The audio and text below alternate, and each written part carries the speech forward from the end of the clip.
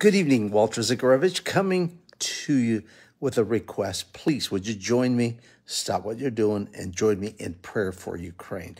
Yes, some places have gotten better, but the fighting continues, attacks continue in various parts of the Kharkiv region, the Mykolaiv area, and uh, our information is that attacks continue even in places that had not seen attacks for a while. So let's stop and let's pray for brothers and sisters there, for the volunteers that continue to do the work of God in that nation.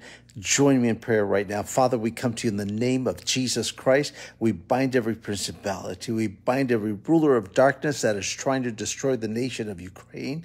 And Father, we pray for your divine intervention right now. We pray for the volunteers, especially the pastors and Christian leaders who are sacrificing and who are going to those frontline areas, who are staying in those frontline areas, taking care of people and ministering to them, uh, taking supplies, medicines, food to places that do not have enough to eat. And Father, I pray for your protection. I pray for you to supply the finances to to be able to continue to do that in the name of Jesus Christ. And Father, I just thank you.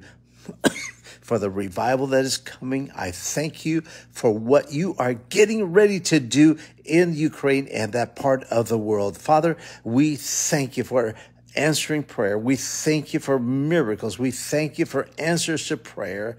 And Lord, we pray that we will see a mighty move of God throughout the nation of Ukraine. In Jesus' name, amen. If you missed today's broadcast with Tony and Marge Abram, please take a moment, go back and watch that broadcast tomorrow morning, 10 a.m. Pacific, 1 p.m. East Coast time.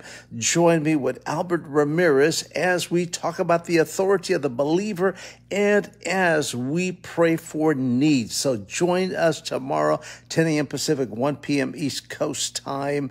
And please write us your needs if you want us to include them in our prayers. But continue to pray for Ukraine. Continue to give as the Lord leads you because the needs are many. You can do that by going to our webpage, Global Vision Ministries, plural, dot org, and press the donate button, designate Ukraine. It will go to Ukraine. Thank you so much. God richly bless you. Please, please watch today's broadcast with Tony and Marge Abram. A lot of uh, wonderful updates and powerful prayers. So go back and watch that. I'm going to repost that right after this broadcast right now. God richly bless you. Remember, Jesus Christ is the same yesterday, today, and forever.